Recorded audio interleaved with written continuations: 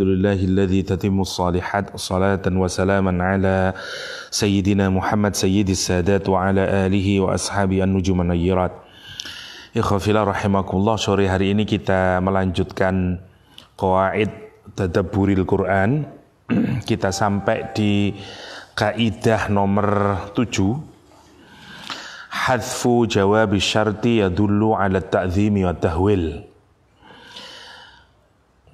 Jadi pembuangan jawab syarat itu menunjukkan makna keagungan atau uh, kengerian ya.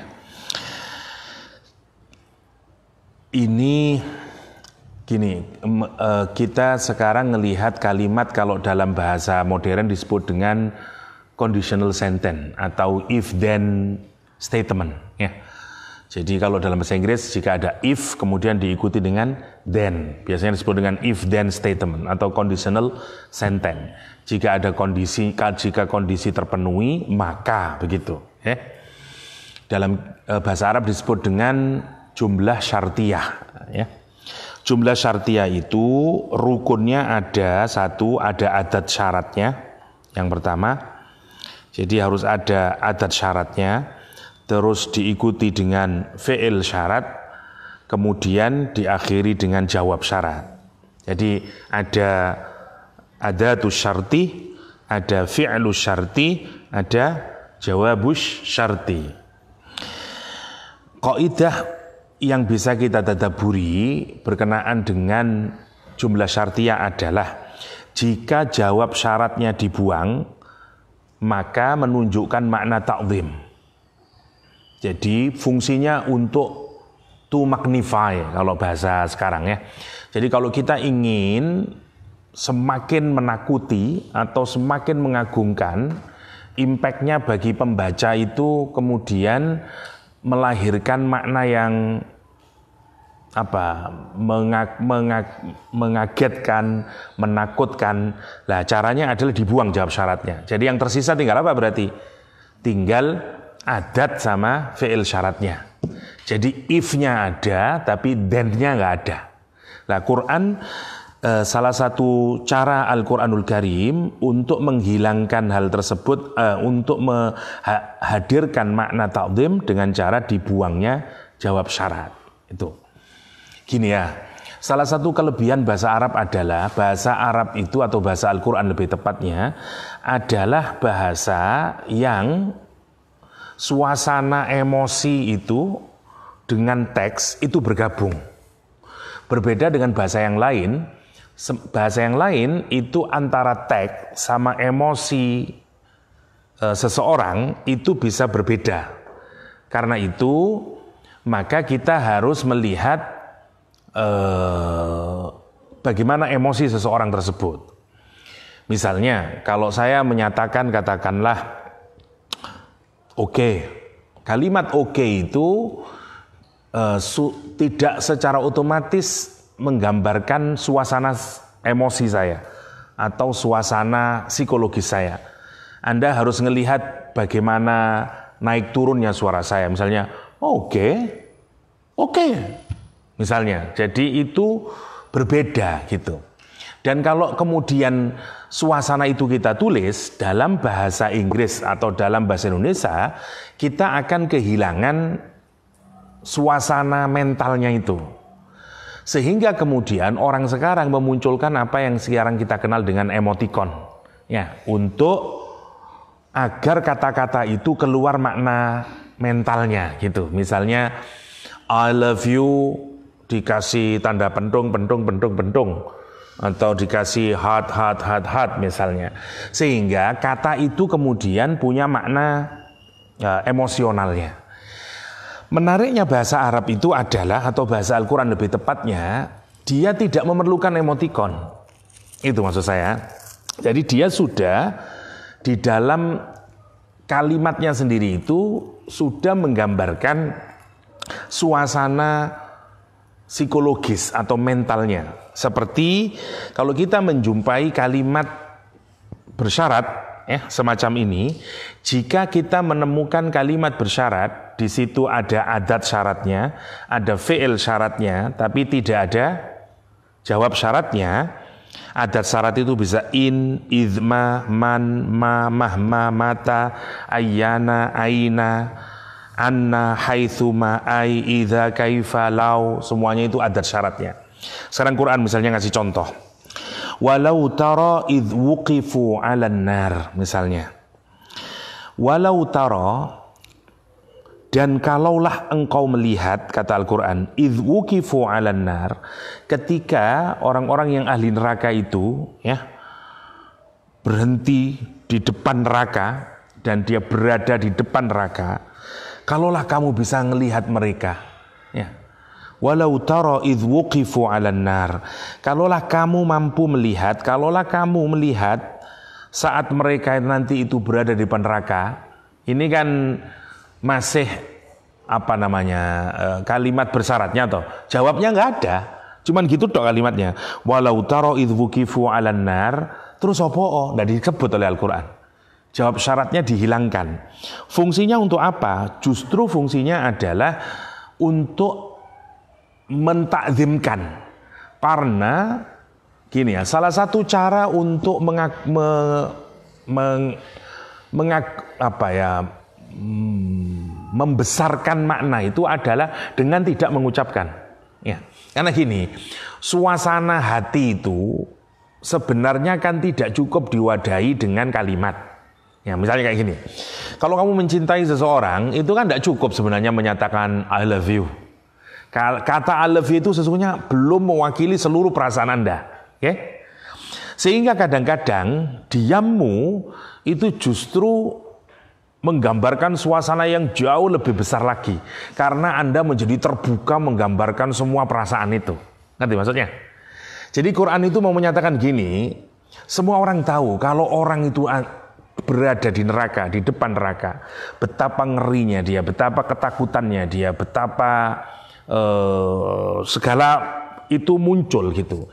Dan Quran tidak menjelaskan itu karena seakan-akan you kan sudah tahu dan kamu bisa membayangin betapa ngerinya. Nah, cara untuk membuat maknanya menjadi lebih besar dibanding kalau disebutkan jawab syaratnya adalah dengan dibuang jawab syaratnya. Karena itu lihat, jawabulau makhdhufun liyufidat tahwil wa ta'zim kata dia. Jawab dari adat syarat lau tadi dibuang tujuannya untuk apa? Untuk menghadirkan makna tahwil semakin ngeri, semakin agung. Jadi fal makna tadaburnya walau taro idzukifu 'alan nar la ra'aita amron 'aziman min khaufihim kata dia ya.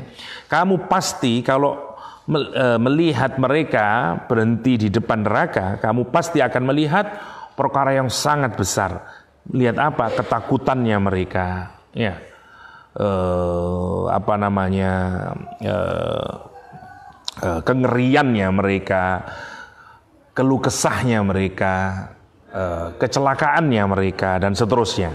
Itu maksudnya. Jadi perhatikan jadi kalau ada kata eh, jumlah syartiyah yang dibuang eh, apa jawab syaratnya fungsinya untuk menghadirkan makna ta'zim. Ya Misalnya lagi, walau tara idh zalimuna fi ghamaratil maut wal malaikatu basitu aydihim akhriju anfusakum al yawma tujzauna adzabal hun. Misalnya, walau tara dan jikalau engkau melihat bagaimana orang-orang yang zalim itu saat merasakan sakitnya sakaratul maut fi ghamaratil maut wal malaikatu basitu aydihim sementara malaikat itu ya. Menarik paksa jiwanya warna atau kalau dilukiskan di surah An-Nazi'at dengan menggunakan kata nazi'ati gharqa. Ya seperti mencabut tanaman yang sampai seakar-akarnya karena sebenarnya eh, orang yang banyak dosanya itu dia tidak ingin melepaskan eh, jiwanya atau rohnya. Sehingga dia pegangin itu agar tidak bisa dikeluarkan ruhnya. Makanya kemudian eh, gambarannya di dalam Al-Quran, malaikat mengeluarkan ruhnya itu seperti menjebol eh, tanaman sampai ke akar-akarnya dengan tarikan yang sangat keras, berbeda dengan nasyita. Nah, Kalau kamu bisa melihat kata Al-Quranul Karim, pada saat bagaimana orang-orang zalim itu merasakan sakitnya sakaratul maut dan malaikat justru dengan keras ya eh, tangannya eh, menarik keluar eh, rohnya orang itu al yauma tujzauna adzabal hun dan dia menyatakan hari ini kamu akan rasakan azab yang menghinakan itu. Dan tidak disebutkan bagaimana nanti dampaknya kalau kita melihat. Kenapa? Karena sudah kita tahu dampaknya tidak harus dibicarakan, tapi justru dengan dibuangnya, maka justru akan melahirkan makna apa? At-ta'zim, at-ta'zim. Oke, lanjutin. Qaidah saminah. Sekarang nomor 8 ya. Silatul mausul takunu illatan wa maksu wa maksudatu wa, wa maksudatu lima qablaha silah mausul itu fungsinya menjadi alasan sementara yang dimaksudkan itu Anda bisa lihat dari kata sebelumnya ini dulu ya Misalnya kita mudahkan aja lah. Misalnya contohnya begini. Uh, tahu isim mausul toh isim mausul seperti alladzi alladzani alladzina allati allatani dan seterusnya itu ya. Misalnya ada kata begini, akramalladzi indahu adabun misalnya. Akroma alladzini namanya isim mausul, oke? Okay?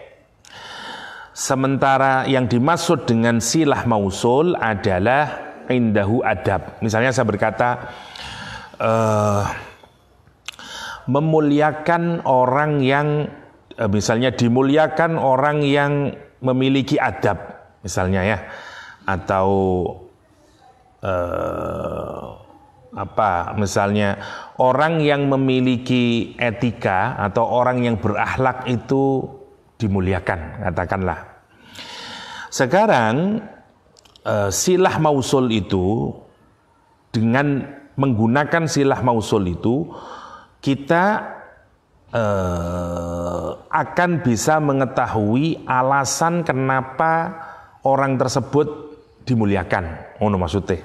Ya biar untuk bulat ya. Emang mestinya ditulis ngono itu susah lek ngomong tok ya. Yo, entahlah nanti lihat sendiri di kitabnya ya. Misalnya, misalnya jadi kalimat ini misalnya ya. Kenapa uh, sila mausulnya adalah karena orang ini memiliki akhlak yang baik ya. Karena itu dia dimuliakan. Oke. Maka yang menjadi ilat dari uh, kalimat tersebut adalah uh, apa? uh, silah mausulnya yaitu indahu adab.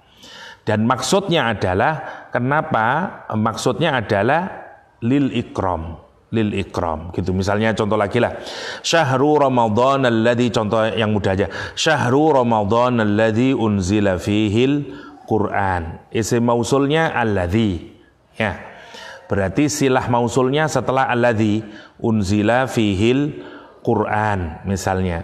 Maka cara tadaburnya silah mausulnya unzila fil Quran. Unzila fil Quran itu menjadi alasannya. Alasan maksudnya jadi hiyal illatul maksudah li Ramadan. Fayakunu syarfu Ramadan li inzalil Quran fih. Jadi cara membacanya, eh, cara kita mentadabur, eh, diturunkannya Al-Quran itu menjadi alasan yang dimaksudkan untuk hadirnya bulan Ramadan itu. Semono tok rek. Ini tidak terlalu susah sebenarnya. E, maka kemuliaan bulan Ramadan itu karena diturunkannya Al-Quranul Karim. Al-Quranul Karim. Jadi kalau ketemu e, isim mausul, silah mausulnya itu menjadi alasannya. Kenapa bulan itu Eh, kenapa kalimat setelah uh, sebelum isim mausulnya itu uh, ada ngono caranya untuk memahaminya.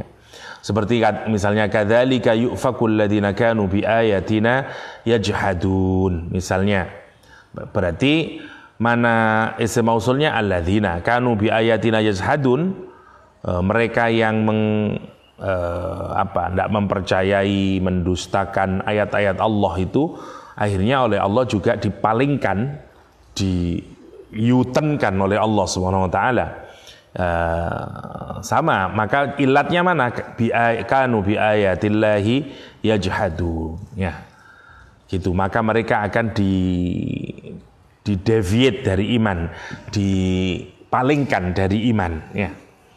Maksudnya ngono. Kenapa mereka dipalingkan? Ya karena bi, kanu bi ayatillah yajhadu sembilan Atful khas alal am yadullu ala ahamiyatil khas kalau atof sesuatu yang khusus terhadap sesuatu yang umum menunjukkan pentingnya yang khusus. Contoh, hafidhu ala salawati was salatil wusta. As-salat ini yang am. Ya, as-salawat yang am. Salatul wusta itu yang khas. Tapi kata salatul wusta itu atof terhadap solawat yang am tadi. Nah, kalau ada atof khos kepada yang am, itu tujuannya untuk menunjukkan pentingnya yang khos itu. Ini ya, sama kayak begini loh, Rek. Sama kayak misalnya gini, kemarin kita bahas surat Al-Munafikun misalnya ya. Wa anfiku fi wa anfiku mimma razaqnakum min qabli ayyatiyakum min qabli ayyati ahadakumul maut. Fayaqula ya apa? Eh, min qabli ayyati ahadumul maut fayaqula rabbi laula akhartani ila ajalin qarib fa asaddaqa wa akum minas salihin. Pertanyaannya uh, ini agak sedikit beda, tapi sebenarnya prinsipnya sama. Sebenarnya kan orang yang akan mati ini, ya, uh, yaitu orang munafik, begitu dia akan mati, kepinginnya dua dia. Satu kepingin sodakoh, yang kedua kepingin menjadi orang yang soleh. Pertanyaan saya, apakah sodakoh itu tidak masuk perbuatan yang soleh? Masuk perbuatan soleh, tapi dikeluarkan. Kenapa? Karena dia di antara perbuatan soleh yang paling penting bagi dia yang hendak dia lakukan adalah as-sadaqah. Ngono maksudnya. Lah banyak di Quran itu eh, yang modelnya kayak begitu. Ada yang umum dikeluarkan. Tapi untuk kasus orang munafik ini tidak ngikuti pelanggaran ini.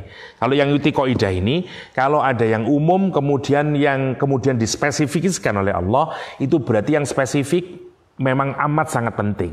Misalnya begitu. Jadi semua sholat lima waktu penting, tapi sholatul wusta itu diberi penekanan di sini untuk menunjukkan ah, ahamiyahnya. Ini pentingnya itu, maksudnya begitu. Jadi uh, sholatul wusta itu menjadi uh, sholat yang mestinya harus menjadi perhatian lebih. Misalnya, man aduwalillah wa malaikatihi wa rusulihi wa jibrila wa mikala misalnya ya. Ini juga sama Eh, Jibril, Mikail itu semuanya sebenarnya masuk di mana?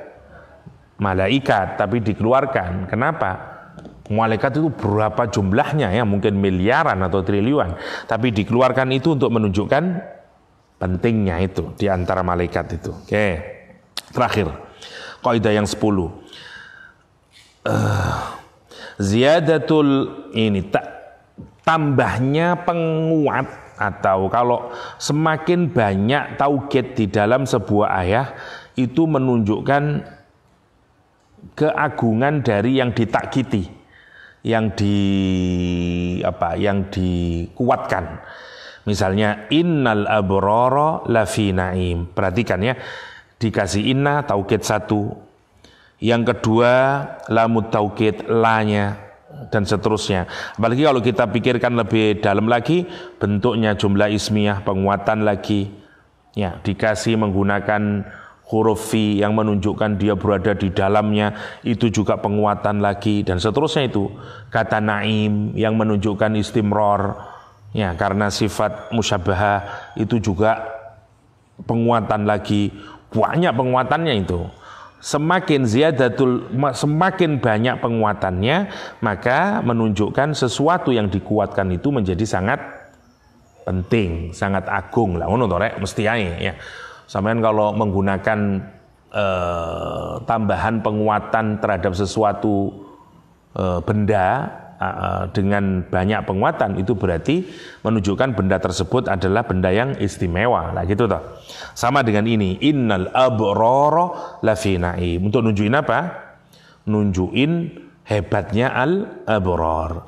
Inna makanna lahu fil ard wa atainahu min kulli syai'in sababa. Misalnya uh, banyak nanti kita dapati uh, apa namanya penguatan yang diulang-ulang untuk menunjukkan uh, apa ala azmil muakkad wa ahamiyat wa ahamiyatihi ya kata uh, kaidah ini kaidah yang nomor 10 ya. Oke itu untuk uh, kaidah uh, tadabbur yang nomor 10 kita insya Allah akan lanjutkan di pertemuan mendatang uh, sisa 20 masih ya. Uh, nanti kita akan samerikan lagi dari awal untuk bisa diingat-ingat biar kita tidak lupa ya. Oke, sekarang kita lanjutkan ke uh, surat Al-Anbiya. Kita sampai di ayat sebentar.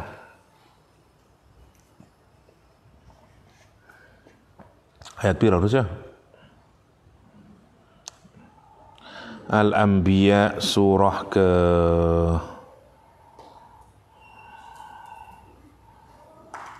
Kemarin saya ingat ibadum mukramun. 29 wa may yakun inni ilau min duni. Sudah itu. Uh, oh enggak ya? Ya ada 9 ya? Hmm,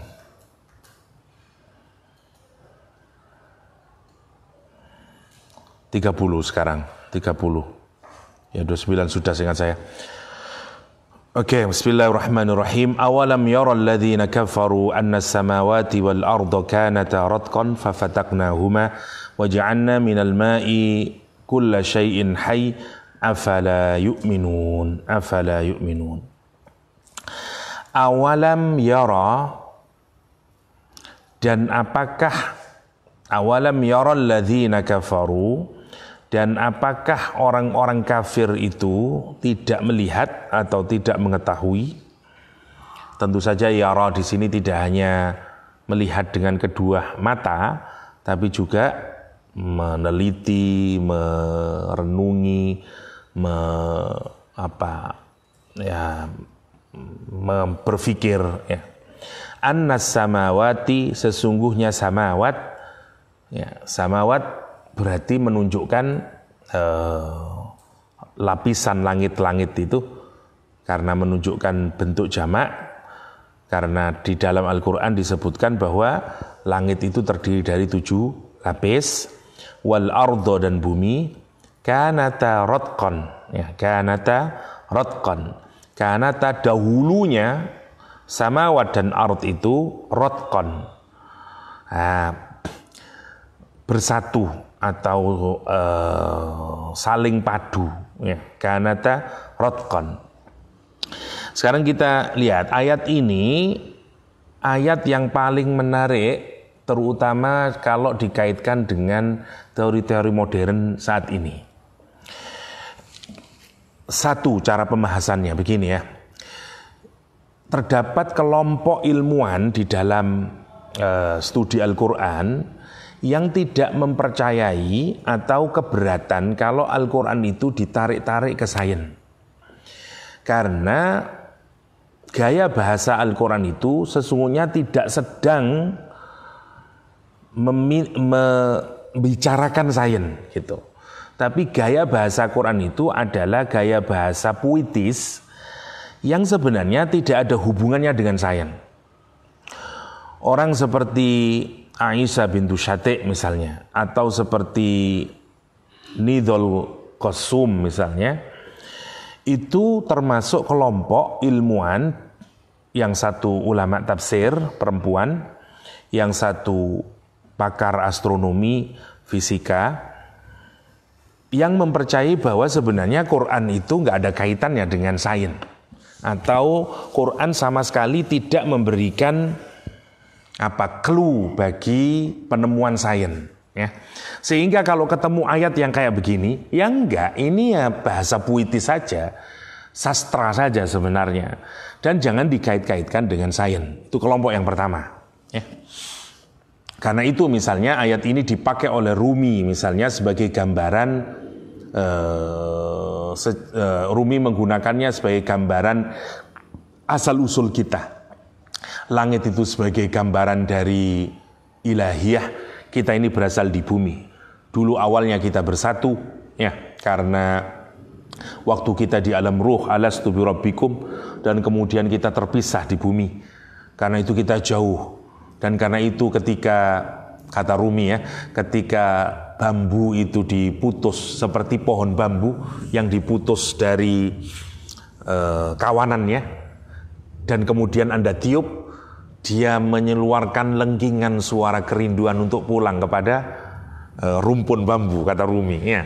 Mengapa kalau bambu ditiup menjadi seruling itu suaranya mendayu-dayu karena dia rindu untuk pulang lagi ke asalnya karena kamu telah mencerabutnya kata Rumi. Sama seperti eh, langit dan bumi dulu bersatu sebagai gambaran dulu kita dengan Allah Subhanahu wa taala ya karena asal muasal kita di sana kemudian kita terpisah ya dan lama perpisahan itu menghasilkan kerinduan untuk pulang yaitu wa ilaihil masir dan seterusnya. Uh, karena itu ini ayat yang kayak begini ditangkap sebagai sebuah ayat yang bersifat sastra gitu. Sehingga nggak perlu dikait-kaitkan dengan sains. Kalau Anda masuk kelompok yang kayak begini, itu kemudian Anda tidak perlu menggunakan uh, ayat ini sebagai bagian yang bisa Anda tarik ke tafsir ilmi. Maka maka kata e, kelompok yang pertama ini menganggap Anda sedang memperkosa ayat-ayat Al-Qur'an, ditarik-tarik ke saya. Itu yang kelompok pertama. Kelompok kedua enggak. Karena Quran itu difahami memiliki layers dari makna. Jadi Quran bisa bersifat sastra, Quran juga bisa memberikan clue terhadap sains, Quran dan segala macam karena Quran punya sekian banyak lapisan makna. Ya. Sebagaimana misalnya kalau saya tidak keliru ya, salah satu ucapannya cicitnya Rasulullah SAW ya uh, Sayyid Ja'far Sodik yang menyatakan Quran memiliki lebih dari 70 lapis makna. Jadi makna yang pertama begini, makna yang kedua begini. Karena ada sekian banyak dimensinya. Eh, dari Al-Quranul Karim. Kalau kita mengambil yang pilihan yang kedua, maka menjadi tidak jadi masalah. Kalaupun ayat ini didekati dengan pendekatan saintifik gitu, karena memang sama kayak beginilah. Uh, uh, kalau Quran itu menggunakan, uh, kalau Al-Quran sedang mendeskripsikan neraka atau surga, Apakah Quran sedang menyatakan sebuah realitas atau sekedar menggambarkan gambaran imajinatif? Nah, sepakat para mufassir bahwa sebenarnya Quran itu menjelaskan gambaran yang bersifat real, bukan imajinatif. Orang modern yang menganggap itu sebagai imajinatif, karena itu menganggap dia nggak ada itu kenyataannya. Tapi sepakat para ulama eh, kalau di dalam tafsir sepakat itu real. Ketika Quran menyatakan uh, min tahtial anhar, ya tajri min tahtial anhar, semuanya itu real, memang ada nanti di sana gitu. Kutufu hadania, ya uh, wa mizajuha min tasnim dan segala macamnya lah. Semua gambaran itu Quran tidak sedang meminta kita menggambarkan imajinasi yang tidak ada barang konkretnya. Karena kalau kalimat itu difahami sebagai kalimat yang sifatnya hanya bersifat sastra, maka memang tidak e, semestinya kita tarik-tarik ke sains. Akan tetapi dengan melihat kelompok yang kedua, kita bisa menerima kenapa ini juga bisa didekati dengan pendekatan saintifik. Dengan pendekatan saintifik hari ini orang menyangka macam-macam ini, ya Misalnya ada yang menyafsiri ini e, menggambarkan e, asal muasal kejadian dari bumi. Ada bahkan yang menarik kalau sekarang ditarik ke konsep Big Bang teori, ya karena dulu e, langit dan bumi itu digambarkan rotkon Dia bersatu padu, kemudian fafatakna huma, maka kemudian kami pisahkan. Nah, waktu dipisahkan itu yang namanya Big Bang, karena kemudian pecah dan kemudian dalam proses yang lama kemudian menjadi uh, bumi dan seterusnya dan seterusnya. Planet-planet yang sebagaimana yang kita ketahui detik hari ini dan prosesnya lama itu terjadi ya. Bagaimana uh, alam ini bekerja dan sampai menghasilkan bintang, planet dan seterusnya dan seterusnya melalui proses yang dikenal sekarang uh, sebagai teori dentuman besar atau Big Bang teori. Nah, kenapa kelompok pertama keberatan? Karena seakan-akan kamu sok apologetik begitu ada ilmuwan menemukan itu terus mbok kait-kaitkan ayat ini begitu kelompok yang pertama kelompok yang kedua enggak ngapain apologetik Wong semuanya juga ayat Allah yang ditemukan oleh saintis dia sudah juga sedang mencari ilmunya Allah yang Allah letakkan di alam. Sementara Quran juga bagian dari kalamullah dan seterusnya. Dan semestinya memang tidak dikontraskan. Ya, karena memang mestinya mereka ada titik temunya. Pada titik situ kita bisa menerima model pendapat yang kedua. Karena itu bagi saya tafsir ilmi fine, tidak jadi masalah. Saya termasuk yang mengikuti, saya termasuk orang yang bagi saya tafsir ilmu itu sesuatu yang wajar saja dan boleh. Ya, e, tidak seperti kelompok ulama yang menolak adanya tafsir ilmi, ya, e, karena Quran dianggap tidak punya kaitan sama sekali dengan sains. Oke. Jadi tergantung ya kalau kita maknai sebagai tafsir ilmi arahnya ke sana. Ustadz, ini apa ndak khawatir kita? Oke, sekarang ada teori Big Bang misalnya. Kalau misalnya setelah 10 tahun, 50 tahun, ternyata ada teori baru. Bagaimana the origin of the universe ini ternyata tidak terjadi melalui Big Bang misalnya. Ternyata melalui apa? Bukankah itu berbahaya terhadap penafsiran Al-Quranul Karim memang berbahaya, tapi tentu orang harus sadar sesadar-sadarnya bahwa tafsir berbeda dengan Al-Quranul Karim itu sendiri. Semua tafsir tetap bersifat relatif, karena tafsir itu adalah cara kita memahami. Tentu kalau kita menggunakan sains sebagai tool kita memahami Quran, yang harus dipahami lebih awal adalah bahwa sains bersifat relatif. Teori itu bersifat relatif meskipun dia berangkat dari fakta. Kenapa? Karena orang yang menemukan kembali nanti membantah menjadi teori yang baru lagi. Saya kasih tahu ya karena ini penting, eh, meskipun agak teknis tapi agak penting ya bagaimana ilmu itu dibikin eh, gini. Sederhananya begini, teori itu berangkat dari fakta. Ya, fakta itu begini, misalnya semua kejadian yang Anda bisa indrai terjadi di alam namanya fakta. Misalnya kalau saya e, benda ini memiliki masa tertentu, kemudian dia jatuh ke bawah, namanya fakta. Indra Anda menyetujui, akal Anda melihat, namanya fakta. Okay? Kalau fakta ini repeated, berulang terus, berulang terus, di mana pun saja, dia menjadi hukum. Namanya law. Ya, jadi kalau ini namanya fakta, kalau dia berulang terus di mana pun, maka dia menjadi hukum istilahnya. Misalnya, misalnya ini ada apel jatuh. Oke, dari dulu apel jatuh dan ternyata semua benda yang memiliki berat juga jatuh. Newton berpikir, apakah bulan itu juga jatuh? Karena bulan juga memiliki massa. Kenapa bulan kok tidak ke bawah?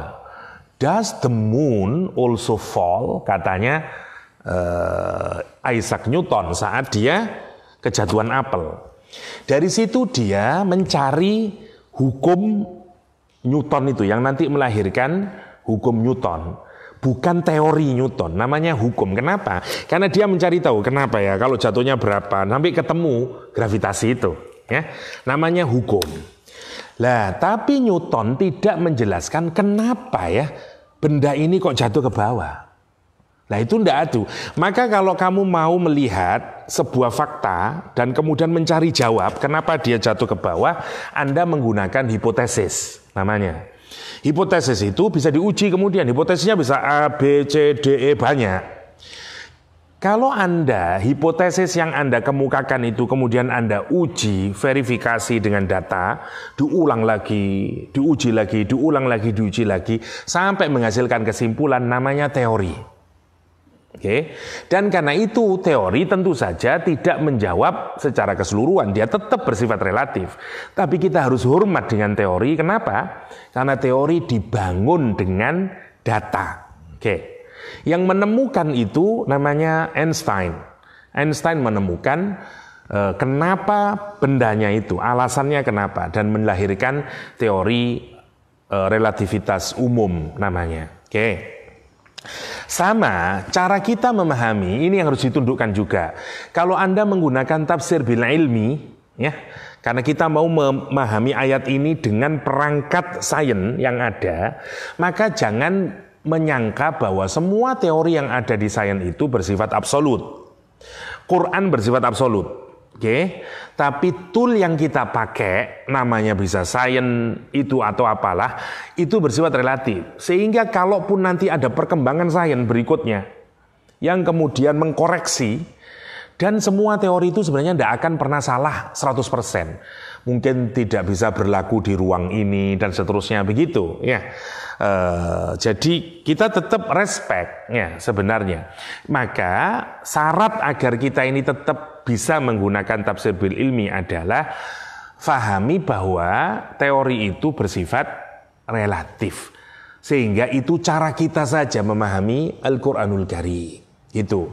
Tapi nanti kalau misalnya sainsnya berubah sesuai dengan watak sains, Kan beda karena yang ini bersumber dari Anda. Anda yang eksperimentasi, observasi, mencoba mencari katakanlah the knowledge of God. Ya. Kamu kan approaching the truth kalau melalui sains itu. Kamu terus mencari, mencari, mencari, mencari terus. Lahir teori lagi. Karena itu sains berkembang terus.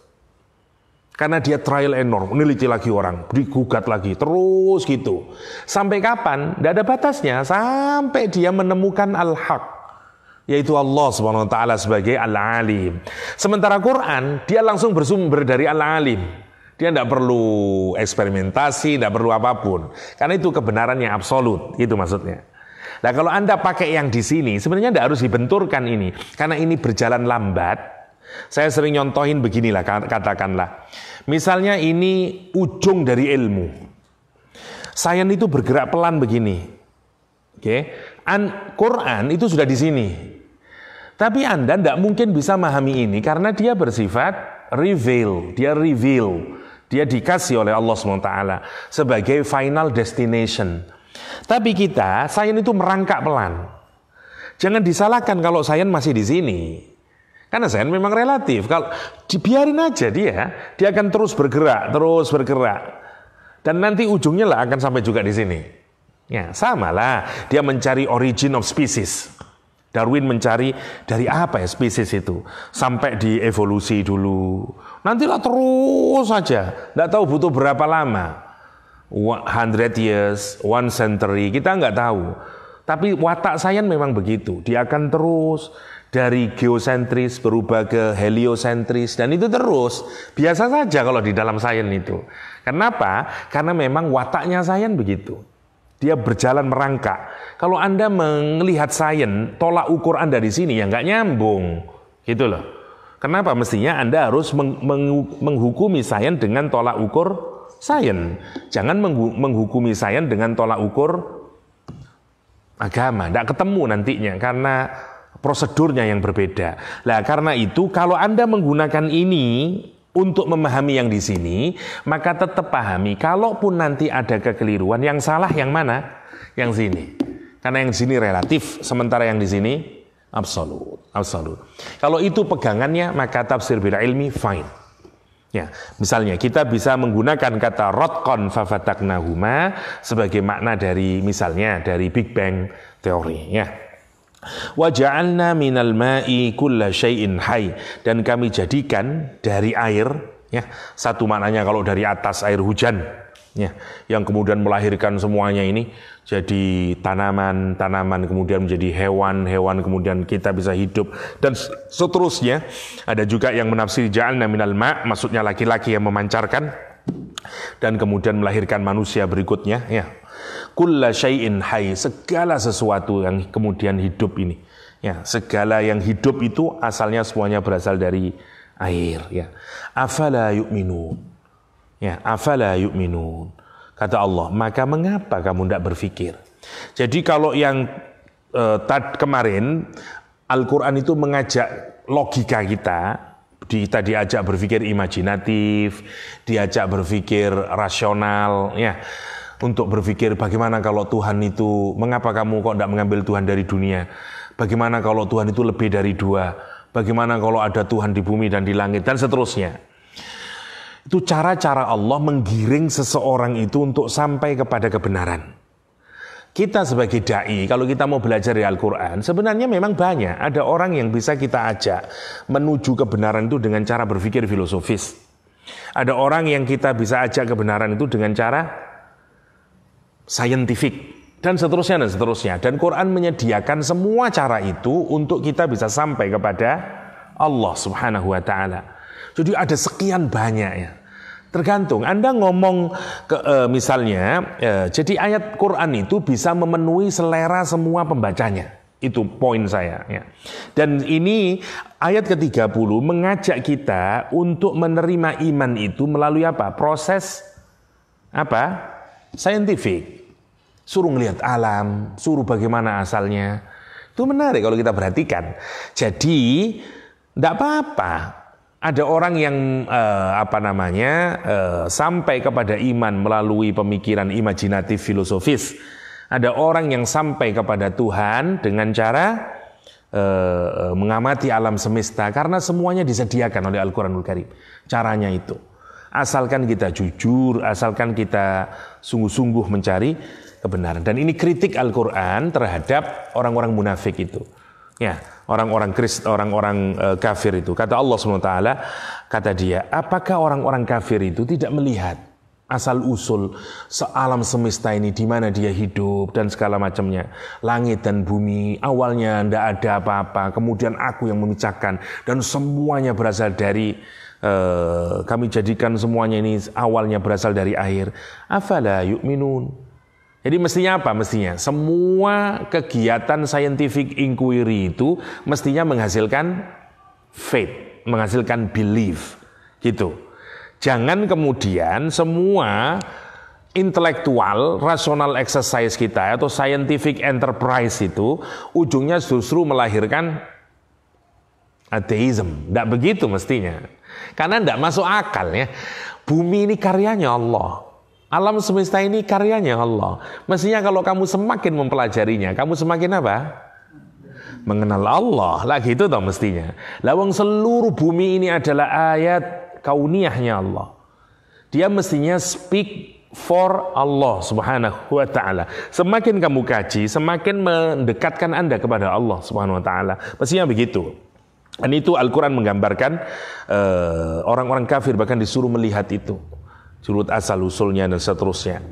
Ini powerful right? bagi orang-orang saintis yang kayak begini ini penting. Dia banyak beberapa orang barat yang masuk Islam gara-gara melihat yang kayak begini ini.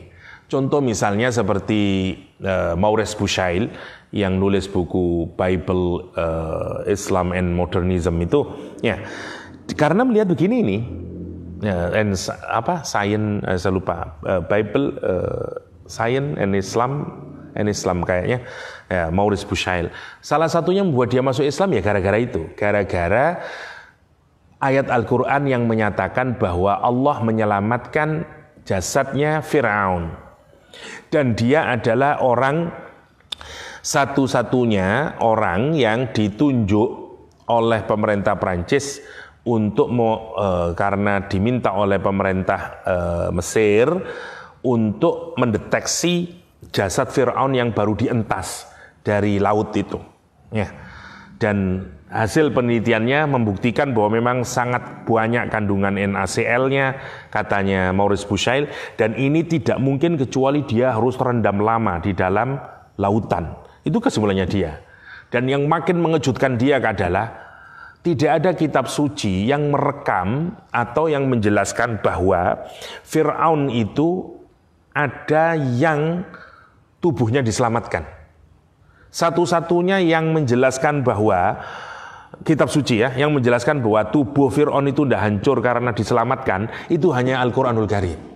Karena itu Maurus Busal katanya Maurus Busal ini tidak mungkin kecuali ini dari sang pencipta ini Al-Quran ini. Dan itu membuat dia masuk Islam. Nah itu maksudnya. Anda yang baca itu ratusan kali tidak membaca itu sebagai trigger Anda untuk mendapatkan iman, ya dah? Itu maksudnya, Rek. Jadi seperti jadi seperti madubatullah. Quran itu seperti Anda datang ke hotel, sarapan segala macam, sana roti, soto dan segala macamnya lah. E, di mana Anda e, nanti bisa yang bagian mana yang bisa menyentuh Anda. Kalau kalau Anda orang soleh semuanya menyentuh, lah gitu toh.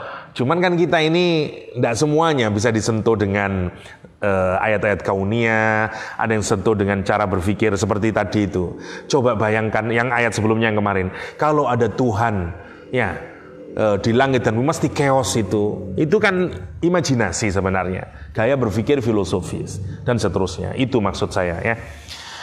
Uh, ini penting. Uh, saya tidak menjelaskan lebih detail bagaimana Big Bang. Apakah memang uh, masuk akal tah kalau ayat ini dikaitkan dengan Big Bang dan seterusnya. Tapi orang sekarang uh, yang biasanya disebut dengan madhab bucailisme ngaitin ayat ini dengan uh, Big Bang teori. Big Bang teori. Waja'alna Makanya penting ya, kita melihat alam itu penting, itu bagian dari pembacaan kita melaksanakan ayat-ayat Allah SWT. Wa ja'alna dan kami jadikan fil ardi di bumi ini rawasia. Ya. Rawasia itu gunung-gunung ya yang kokoh antamida bihim. Supaya dia kokoh ndak guncang. Wa ja'alna fiha fijajan. Dan kami jadikan juga fijaj ya atau uh, jalan-jalan yang luas ya. Eh, ya, eh, la'allahum yahtadun. Agar kalian semuanya mendapatkan petunjuk. Ini setelah dilihatkan asal usul langit dan bumi, kita disuruh sekarang makin uh, fokus ibarat di zoom in itu makin ke zoom in, ke zoom in, ke zoom in. Sekarang suruh melihat dunia ini. Menarik ya. Uh, Quran menggunakan bahasa yang sederhana untuk menggambarkan bahwa bumi itu bergerak, tapi Anda tidak pernah merasa gerakannya. Orang fisika bisa menjelaskan itu dengan baik, cuman kalau kita pakai pikiran paling sederhana adalah kenapa kok bisa kita tidak merasakan? Salah satunya adalah karena ada gunung yang ditancapkan. Gambarannya sederhana sebenarnya, kayak beginilah, kayak orang Arab dulu itu kalau dia bepergian dan segala macamnya, terus dia mau uh, istirahat, maka yang dia lakukan adalah dia bikin tenda. Lah, yang disebut rawasia itu adalah patoknya itu agar tenda itu atau kemah itu khimah dalam bahasa Arab ya atau kemahnya itu tidak bergerak. Lah, gambaran Al-Quran mengapa dipilih gunung itu untuk konteks Arab itu semacam itu agar tidak bergerak nyaman kemudian Allah ngasih gunung sebagai rawasia antamida bihi. Tapi dalam konteks sekarang Anda harus kaitkan ke fungsi gunung dan segala macamnya. Dan itu menarik kalau Anda lihat. Ya, bagi orang yang di geologi dan segala macam itu pasti menarik.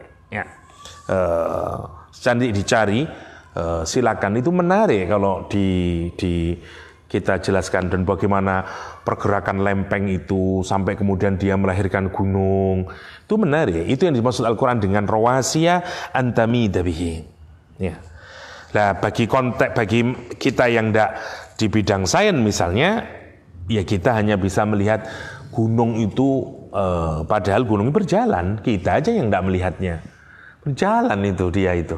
Ya.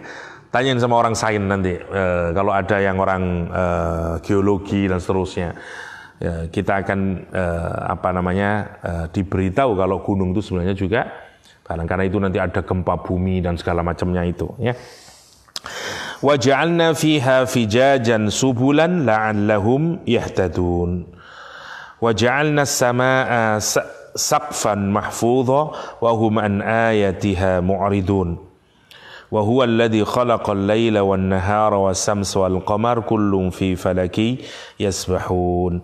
Kita sampai ayat ini aja lah. Wa ja'alna saya agak cepat ya.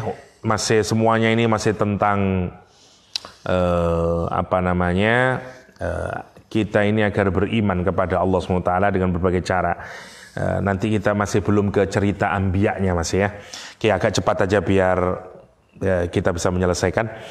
Dan kami jadikan langit itu yang disebut sekarang sama, bukan samawat. Ini yang menariknya ya. Pernah kita diskusikan dulu waktu di sekolah tafsir. Kata sama itu bisa kadang maknanya lebih besar daripada samawat meskipun dia mufrad. Kenapa? Karena sama adalah apa saja yang berada di atas kita. Samawat tidak bisa enggak maknanya merujuk kepada tujuh lapis langit. Jadi kalau kata sama itu digunakan isim jamak, maknanya tujuh lapis langit. Tapi kalau sama itu dibikin mufrad, maknanya dua. Satu, bisa langit dunia, karena mufrad, tapi makna yang kedua bisa seluruh apa saja yang ada di atas kita, termasuk tujuh lapis langit plus nanti semuanya, Baitul Makmur, kursinya Allah, arsnya Allah, sidratul muntaha, dan seterusnya. Maka sama dengan makna yang kedua itu lebih luas daripada samawat. Karena itu ini salah satu keunikan Al-Quran ya. Ada kata mufrad yang maknanya bisa lebih luas dibanding jamaknya. Yaitu kata sama dan samawat. Kata Sefadil Samirai yang menjelaskan kata sama dan samawat. Kata Allah SWT, waja'alna dan kami jadikan yang ada di atas kita ini, dijadikan apa? Sakfan. Ya, jadikan atap. Ya. Tapi benar ya, atapnya tidak punya pilar. Itu kan benar itu. Orang bikin atap itu selalu pakai pilar lah. Ada cagaknya. Karena itu disebut dengan bina wabanaina fauqakum ya. Orang kalau bikin uh, atap itu selalu dikasih ada yang digroundkan dulu baru nanti jadi atap. Allah ndak kata Allah waja'anna sama langit itu saya gunakan sebagai sakfan, jadi kanopi ya. Sebagai kanopi mahfudon protected lagi. Masya Allah ya. Uh, uh, kalau Peter Berger punya buku Secret Canopy ya. Jadi kalau Quran sakfon, sakfan mahfudho ya, protected canopy ya. Jadi jadi jadi apa mau jadi aku atap ya yang dijaga. Kita ini ini tergantung ya cara kita memahami. Kalau anda hubungan ke sains itu masya Allah Allah memprotektif kita itu. Uh, sampai tidak belajar itu bagaimana atmosfer itu ngelindungin kita, mulai sampai bagaimana matahari itu sampai ke kita itu menjadi uh, bisa dibuat untuk fotosintesis, buat itu semuanya. Itu ada proteksinya, rek bagaimana lapisan-lapisan di atas kita itu sampai misalnya kalaupun ada tabrakan antar uh, planet atau apalah ya meteor yang ada di langit nanti sampainya ke kita cuma jadi bubble-bubble aja. Itu sopo yang proteksi gitu kalau bukan Allah SWT itu namanya sakfan mahfudho. Sayangnya saya tidak terlalu mengerti astronomi ya. Nanti baca itu bagaimana apa saja lapisan yang di atas kita itu yang semuanya itu memproteksi kita Nah tentu Al-Quran tidak akan mendetailkan itu. Kenapa? Karena dia turun sesuai dengan konteks zamannya. Tapi ada clue yang dipakai oleh Al-Quran dengan kalimat sakfan mahfudho. Itu maksudnya. Protected. Masya Allah ya. Kita kalau tidak diproteksi hancur. Gini ya, sesungguhnya tanyain sama orang astronomi ya, kehidupan di langit itu sangat wild. Sebenarnya daripada kehidupan di bumi itu. Kita, kayak apa? Gerakannya meteor skualapan itu tidak karu-karuan nek. Itu sebenarnya kemungkinan bumi itu ketabrak dan segala macam itu sangat besar. Kalau tidak diproteksi. Kalau Allah tidak bikin sak sakfan mahfudho itu tadi. Itu maksudnya. Karena itu menarik. Makanya ono cerita apa namanya supernova dan segala macamnya kalau kamu baca itu. Ya Eh, menarik kalau uh, Anda pikirkan. Sampai nanti kehilangan berubah lagi menjadi, uh dahsyat itu. Jadi benar-benar wow, di luar sana itu, ya kita ini kan sebenarnya juga berada di alam semesta itu, toh saya kan tidak sadar. Sebenarnya kan kita ini kok lucu sebenarnya orang mencari UFO kan tergantung dari siapanya. Sebenarnya dari orang di Mars sana kita UFO-nya, lah gitu toh. lah sama aja toh sebenarnya itu. Uh, itu menarik. Namanya sakfan mahfudho. Anda yang di astronomi, di fisika atau di apa pun itu bisa digali lebih jauh lagi apa yang mungkin bisa Anda kembangkan dengan makna sakfam mahfudho. Ya. Uh, karena kalau kita pakai pendekatan linguistik ya tidak bisa, wis ngono itu. Ataupun kalau kita lihat e, bagaimana pendapat di kalangan maksuratnya juga tidak banyak yang bisa kita dapatkan. Ya. E, Wahum an ayatiha mu'ridun. Yang menarik sudah di orang itu kalau mau lihat semuanya itu sebenarnya mikir-mikir ya Allah, iya ya. Dengan semuanya itu atap ini menjaga saya, dikasih semuanya oleh Allah mataharinya dan segala macamnya dan segala macamnya itu mestinya memudahkan dia untuk beriman kepada Allah SWT. Wahum akan tetapi ya haliyahnya mereka wawunya wawhal kata dia akan tapi mereka semuanya pak an ayatiha terhadap ayat-ayat Allah yang terpampang luas itu. Ya mu'aridun mereka berpaling. Berpaling. Dia berpaling terus menerus ya. Uh, dan yang menarik seperti yang saya jelaskan di apa namanya di HTG Menarik, Rek. kalimat yang dipakai oleh Al-Quran itu uh, uh, untuk orang-orang yang kayak begini itu dia tidak hanya bersifat pasif, ya, tapi aktif. Karena itu menggunakan kata mu'aridun seperti uh, mubsidun, ya. Uh, di HTG saya jelasin salah satu yang harus kita uh, ap aplikasikan adalah setiap kita menemukan uh, bentuk uh, isim fa'il yang berasal dari kata kerja af'ala misalnya, maka dia fungsinya adalah muta'addi, lita'diyah. Jadi kalau fasid adalah orang yang membuat kerusakan terhadap dirinya sendiri. Karena dia fa'ala. Tapi kalau mufsid, berarti dia orang yang bikin kerusakan terhadap dirinya sendiri dan dia juga merusak kepada orang lain. Karena itu disebut dengan mufsid. Muslim berarti orang yang menyelamatkan dirinya sendiri dan orang itu juga menyelamatkan orang lain. Karena itu disebut dengan muslim. Karena itu man salimal muslimun min lisanihi wa yadih mukmin sama berarti. Karena semuanya afala semuanya. Lita'diyah semuanya. Sama mu'ridun dia tidak hanya sekedar berpaling dia juga memalingkan orang lain. Ya dia tidak hanya pasif, dia aktif ya. Wa huwa alladhi khalaqal laila wan nahara wasyamsa wal qamar kullun fi falaki yasbahun. Terakhir ini ya. Wa huwa dan dialah Allah alladhi khalaqal laila wan nahar. Dialah zat yang menciptakan kegelapan ya malam wan nahara dan siang dan siang. Itu benar ya, Anda kalau tidak ada malam, tidak ada siang, rek, mati kita ini. Itu aja kita suruh renungin kalau di Al-Quranul Karim ya. E, gimana kata Al-Quran itu? E, gimana? Sarmadan ila yaumil kiamah, ada begitu itu? Ya apa ayatnya? Hmm. Bagaimana kalau misalnya Oh, saya jadikan malam ini terus sampai yaumal kiamah kata Al-Qur'anul Karim. Ya apa? Pertamanya ya apa? Kul ara'aitum in ja'ala lakumul laila eh, Kul ara'aitum in sarmadan ila yaumil kiamah kata dia.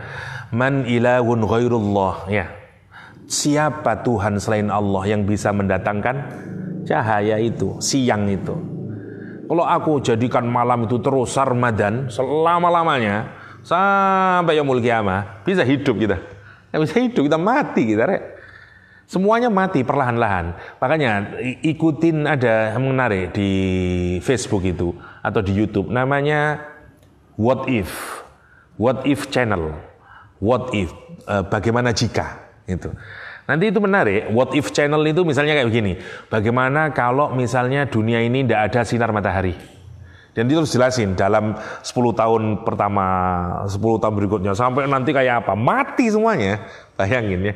Menarik namanya what if, what if channel. Itu saintifik tapi mengandaikan apa gitu e, macam-macamnya.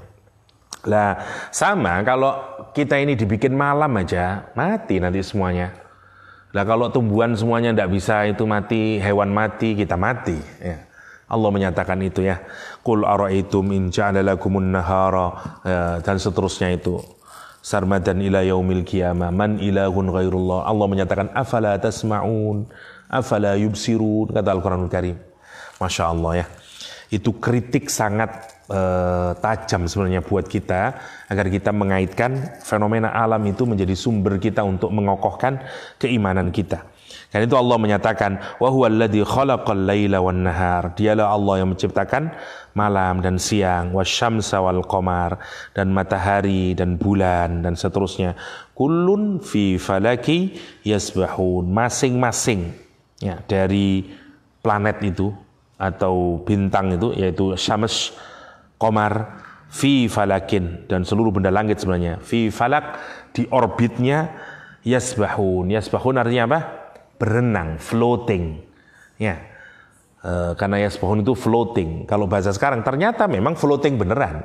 Orang dulu mana tahu misalnya kalau Anda tidak pakai tafsir bela ilmi, ya apa nafsiri? Kullun fi falaki yasbahun. Ya, masing-masing di tempatnya mereka bertasbih gitu. Akhirnya Ya, kalau Anda baca dengan tafsir bila ilmi, floating karena sibah artinya berenang, ya dah?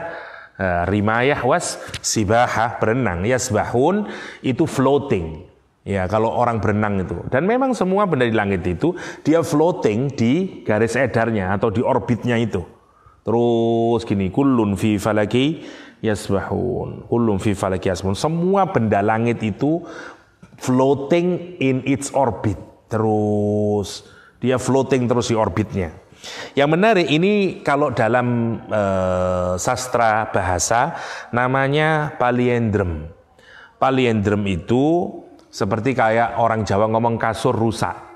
Hurufnya dibalik, kasur rusak gitu. Kan dibalik toh kasur, terus dibalik rusak, itu nyampur di satu. Nah itu salah satu seni bahasa rek. Bedanya kalau kita ngomong kasur rusak, maknanya apa? Ya kasur rusak, wis ngono ya toh.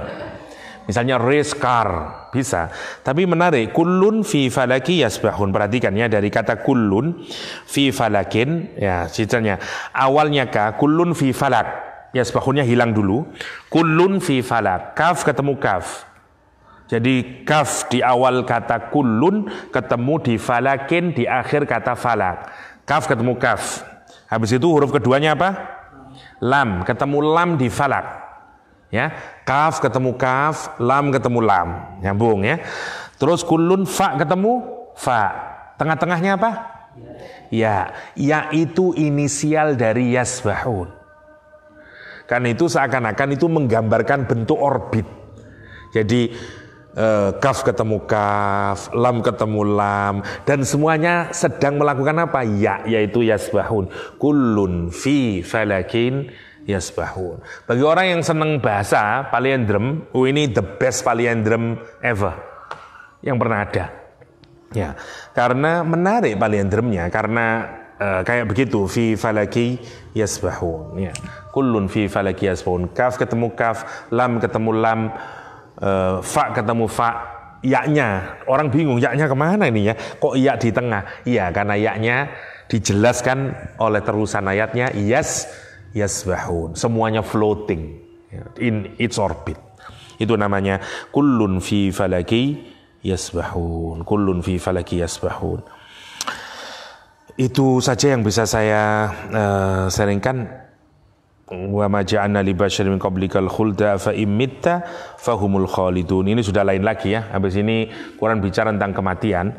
Sebenarnya ini yang agak juicy rek kalau mau ngelihat ya. Tapi waktunya wis hampir maghrib ya. Yang ini kita sekarang mulai masuk ke kematian ya wa huwa alladhi khalaqal laila wan nahara was samsa wal qamara kullun fi falaki yasbahun. Ya. Wa ma ja'alna li bashari min qablikal khulda afa imitta fahumul khalidun. Kata dia wa ma ja'alna dan kami tidak menjadikan li basharin bagi manusia bashar seperti kita ini semuanya yang terdiri dari bishir kulit ini. Kata dia min qablika sebelummu Muhammad al khulda kekal selama-lamanya semua manusia mesti mati Ya, afa imitta maka apakah jika engkau mati Muhammad, engkau wafat Muhammad, fahumul khalidun, mereka itu semuanya akan kekal selama-lamanya. Gini maksudnya ya. Orang Quraisy eh, dan orang uh, orang-orang kafir itu begini dulu. Mereka itu sampai sumpeknya mikir Nabi, mikirnya begini, kapan yo mati ya Muhammad itu ya? Kalau dia mati, udah beres lah kita happy lah. Tidak ada yang ngerecokin hidup kita. Tidak ada yang nyala-nyalain kita. Gitu gampangannya. Nah, Al-Quran Al mengkritik, ya memang semuanya akan mati, termasuk Nabi Muhammad juga akan mati. Terus apa kamu pikir? Satu, apa kamu yakin bahwa Nabi Muhammad lebih dahulu mati dibanding kamu? Yang pertama. Yang kedua, kalaulah Nabi Muhammad pertama yang meninggal dunia, terus kamu, apa kamu pikir terus kamu akan tidak mati? You tetap akan mati dan akan bertemu dengan aku. Jadi itu bukan alasan yang membuat kamu bisa happy hidup di dunia ini. Gitu loh kira kira kata Allah menyatakan. Wa ma ja'alna li basharin min qablikal khulda. Afa imitta fahumul khalidun kata Al-Qur'anul Karim. Masya Allah ya. Ini memukul sekali ya kalau anda pikirkan. Sama lah kamu ini mau mempertahankan kejelekanmu. Kapan ya? Sumpah kamu mikir ono selalu ngelarang-larang tok. Coba ndak ono. Bebas saya kamu pikir, kamu pikir setelah dia mati, you bebas. You tetap berhubungan dengan saya, kata Allah SWT. Ibrahim itu. Ya. Kullu nafsin dha'iqatul mau. Setiap diri merasakan mati, kata Al-Quran Karim. Bahkan Quran menggunakan kalimat dha'iqah. Para ulama menyatakan kata nafsin hanya diarahkan kepada manusia. Meskipun ada yang meluaskan, tapi makna yang lebih kuat, nafsin diarahkan kepada manusia. Setiap manusia, setiap diri Za'iqatul maut, merasakan kematian. Dulu pernah kita bahas kata za'iqah isim fa'il. Untuk menunjukkan bahwa sebenarnya hakikatnya kita ini sudah merasakan kematian. Karena isim fa'il itu right now. You kalau ngomong isim fa'il itu berarti sekarang. Kan gitu toh. Seperti kata Rahman. Rahman itu isim fa'il, makanya sekarang maknanya. Eh, beda dengan Rohim. Kalau Rohim itu adjektif, dia sifat musyabbah. Sifat musyabbah enggak, enggak misalnya, Pak Yahya pemurah, apa mesti saya sekarang sedang sodakoh? Enggak mesti, karena itu sifat. Sifat itu enggak mesti right now. Tapi kalau isim file right now, ya e, misalnya, maka kalau anda pikirkan kata dha'iqah itu isim fa'il. Kalimatnya bukan gini, kullu nafsin tadzuqul maut. Bukan setiap diri merasakan mati. Kalau isim, kalau kata kerja baru mungkin saya sekarang belum nanti kalau saya sudah sakaratul maut saya merasakan mati. Itu kalau bunyinya begini, kullu nafsin tadzukul maut. Tapi kalimatnya tidak tadzuku, kullu nafsin dha'iqah. Karena dha'iqah maka berarti saat ini pun kita merasakan kematian. Kita sudah merasakan kematian. Para ulama kemudian menafsiri dari mana terus kita merasakan kematian? An-naum akhul maut. Mati itu dulure, tidur itu saudaranya mati.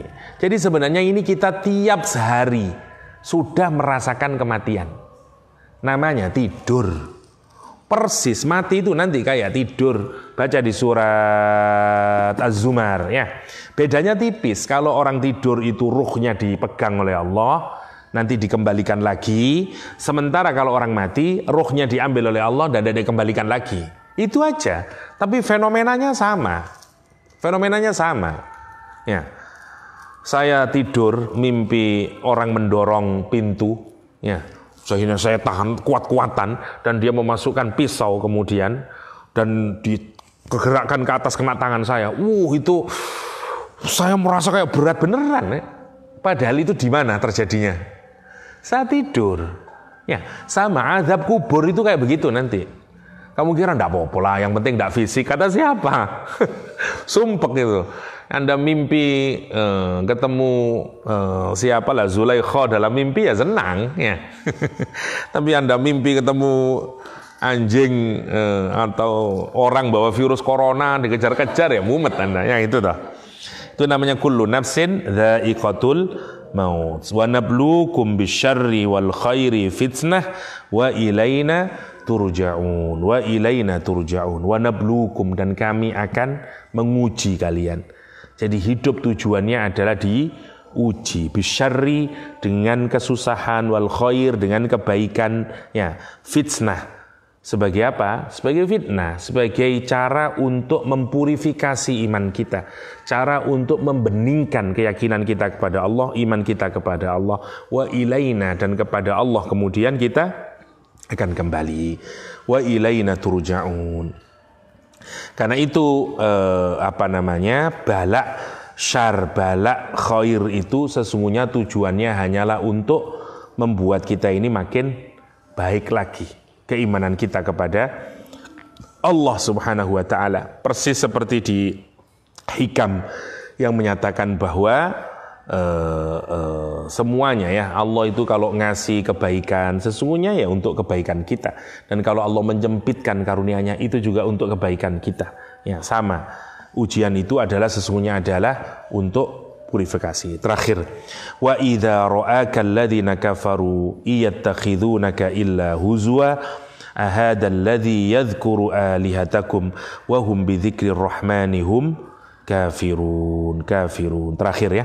Wa idza ra'aka maka dan apabila orang-orang kafir itu Wa idza ra'aka alladziina kafaru dan apabila orang-orang kafir itu melihatmu iyattakhidunaka illa huzwa. Mereka itu hanya melihatmu illa huzwa kecuali mokri saja. Ngolok-ngolok saja. Istihza saja. Menarik ya. Jadi mereka itu kalau melihat orang-orang beriman, melihat Rasulullah, melihat para sahabat, itu jadi olok-olokan. Sama kayak orang sekarang, orang nonton orang muslim lihat stupid people, look look look gitu. Ya. Eh, dan seterusnya. Dulu orangnya begitu. Alihatakum kata dia. Apakah ini orang yang mencela Tuhan itu? Muhammad ini dah orang yang mencela Tuhan kita itu. Itu pongahnya orang Quraisy saat itu ya. Wahum bidzikri rahmanihum kafirun. Padahal mereka itu dengan Al-Quranul Karim, zikrul rahman itu maksudnya Al-Quranul Karim, ya, atau uh, kenapa disebut Ar-Rahman? Karena Al-Quran itu juga bersumber dari Ar-Rahman, Ar-Rahman alamal Quran dan zikrul rahman ay Al-Quranul Karim. Uh, atau bisa di mana yang luas, tapi uh, secara umum mufassir menyata, banyak riwayat menuturkan bidzikir rahman Al-Quranul Karim. Mereka mengingkari Uh, jadi gini, ini salah satu wataknya. Nanti dilukiskan juga oleh Al-Quranul Karim di surat Al-Baqarah, di surah uh, As-Sajdah kalau saya tidak, uh, bukan di surah Al-Hadid kalau saya tidak keliru.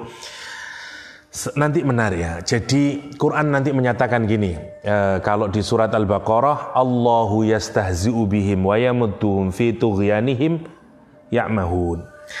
Ketika menjelaskan ayat ini, e, nanti orang kafir itu begitu sudah orang mukmin itu masuk surga gini rek. Nanti Allah itu menghinakan mereka. Jadi pintu surga itu dibuka. Orang-orang di neraka itu juga dibuka. Dan mereka lari karena berharap loh dibuka ayo ayo ayo ayo. Mau masuk ke dalam surga. Tapi begitu dia mendekati pintu surga ditutup lagi. Serang, ditutup lagi. Dan orang Islam, orang mukmin yang ada di dalam surga ketawa, mentertawakan mereka itu. Karena mereka gulung aku tutup. Wah, begitu. Itu yang di surat Al-Mutaffifin. Ya, ya apa? Innalladzina amanu ya apa? Uh, ya apa yang yadhakun al-mutaffifin uh, yataghamazun akhirnya ya apa? Innal summa summa alladhina amanu uh, fal yawma alladhina amanu minal kuffari yadhakun ya. Uh, maka orang-orang yang kafir, orang-orang yang beriman itu atas orang-orang yang kafir nanti pada hari itu yadhakun, ketawa dia. Nah, itu dihubungkan eh, kalau kita baca tafsir dihubungkan dengan ayat Allahu yastahzi'u bihim wa yamudduhum fi tughyanihim ya'mahun. Oh, mereka lari. Ya, kalau di hadis itu ditutup lagi satu peristiwanya, dihinakan itu. Dan kita ketawa, dulu dia menertawakan orang iman. Ya, lah, lah, lah, jongkok jongkok lo ngapain dia itu? Lo lo rukuk rukuk rukuk, bowing down, gendeng deng, lihat lah lah. Gitu. Kamu kalau nonton di YouTube uh, orang-orang uh, melihat orang Islam sholat sampai diketawain, macam-macam ya. Ada orang yang mengetawakan orang sholat di YouTube itu banyak lah.